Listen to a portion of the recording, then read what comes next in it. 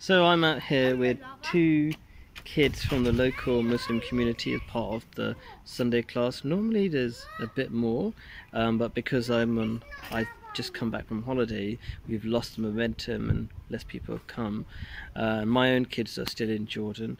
Um, this video is to teach a really hard skill which only a few entrepreneurs really have and that is the abilities to start from zero and see the value you'll bring to the world in the future.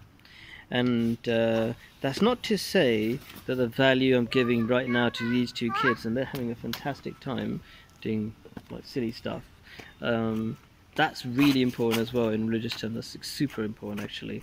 Um, so what I want to say is have vision believe in doing something great for the world without anything coming back to you